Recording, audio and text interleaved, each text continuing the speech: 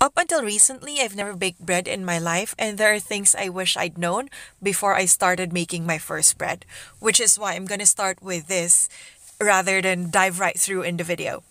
When I first started in my sourdough bread journey, I thought it was all about the sourdough starter, but it's not. Rather, it's a play of how all the ingredients interact well together. First off, let's talk about flour. The kind of flour you use will change the taste and texture of your bread, and they all have different kinds of properties in terms of how it handles water or moisture. And this leads me to discuss about water. How much water you use will affect how you can handle the dough.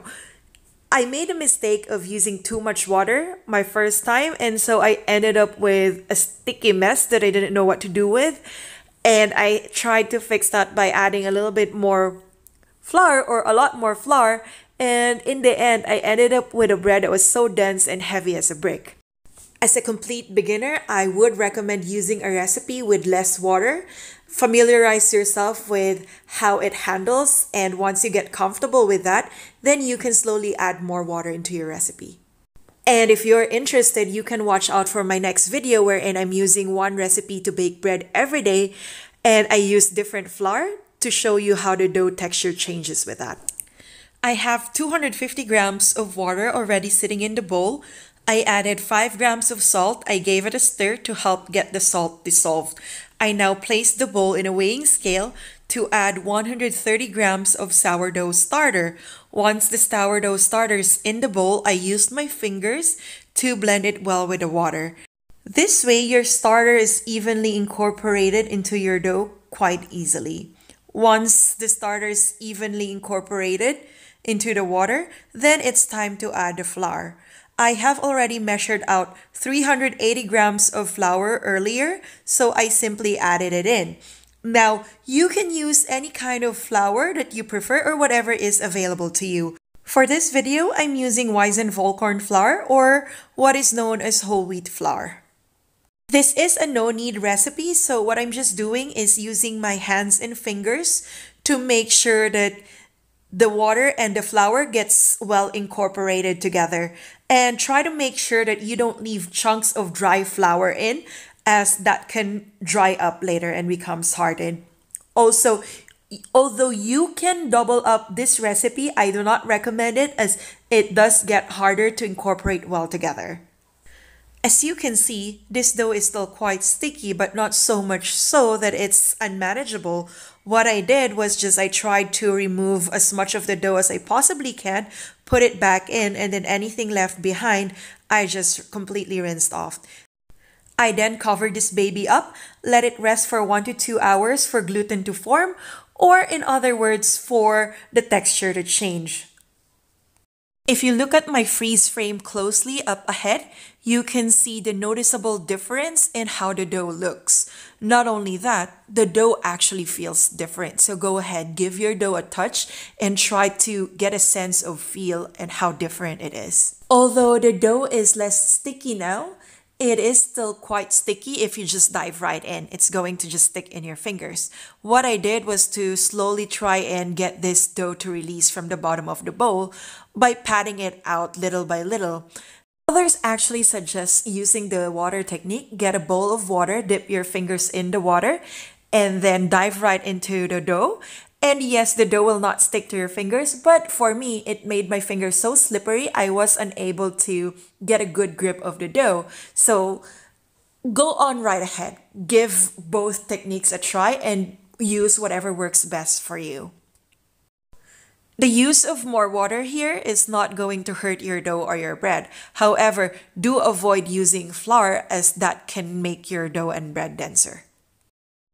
This is a no-knead recipe, however, the dough still needs to form gluten and strengthen itself, so we shall help the formation of that by giving this dough a stretch and fold once we've released it from the bowl.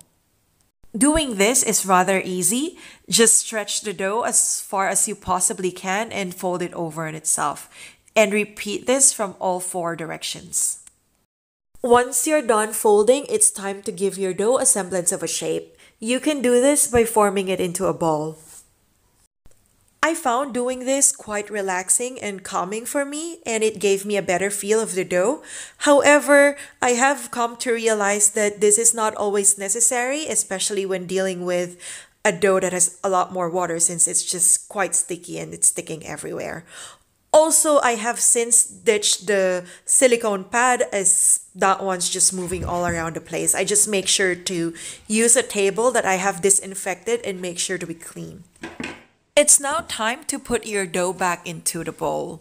Cover it and then let it sit for about four hours. I mean, and if it's cold where you are, then you can extend it to about six hours or at least until the dough has risen to about double its size. There are recipes that says to let your dough rise for 10 hours, 12 hours or longer, and that's okay for them, but not for me since I found the dough to have gotten quite sticky and a lot more difficult to work with again. After allowing your dough to grow as much as it possibly can, it's time to get rid of some of the air in it. You can do this by folding it over on itself again. And I also took the opportunity to actually add the seeds that I love so much into the dough. Once you're done folding your dough on itself again, it's time to give it its final shape. And you need a form shaping container for this. Most of the bakers online is going to use their Banneton. And if you're a complete beginner, you're not going to have that. And that's totally all right. So what you need is any container that's big enough to hold your dough, as well as have enough room for it to grow a little bit. It could be a loaf pan if you're a baker. If not, you can use any bowl. It could be round, square, or whatever shape you have. Your dough is going to stick to your container, so to avoid that, make sure to give your container a proper coating of flour. If you use too much, that's okay. You can dust it off later. My love for seeds come in handy as it's an extra layer of protection that prevents my dough from sticking to the container. What I do is just give the top portion of my dough a good layer of seeds. After giving your dough a layer of seeds, if you chose that, give it a good coating of flour from top and bottom and then make sure to rest your dough top side down onto the container. You can then cover the bowl and let your dough rest and rise for the final time. You have two options here. Let your dough rest for 1 to 2 hours before baking it, or in my case, I just popped it in the fridge, ready to be baked the next day.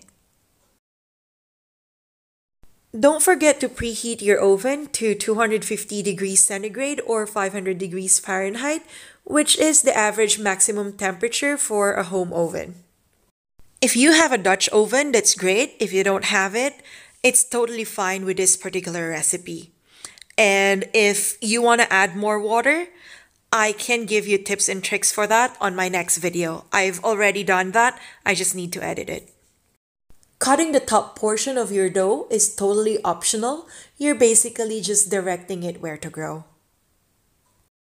If you have a Dutch oven, great. If not, it's not the end of the world. Instead of doing 20 minutes at 250 degrees centigrade, reduce it to 15 minutes and then lower the temperature to 200 degrees and bake it for another 15 to 20 minutes. You're probably wondering what's going on, so let me explain something.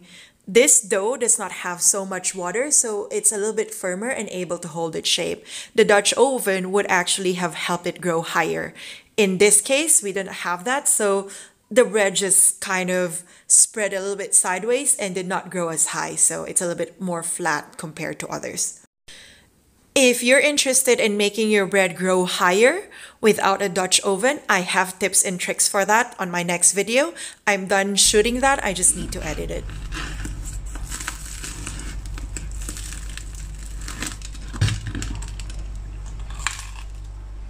Don't you just love hearing that sound? I know I do. Happy eating, guys.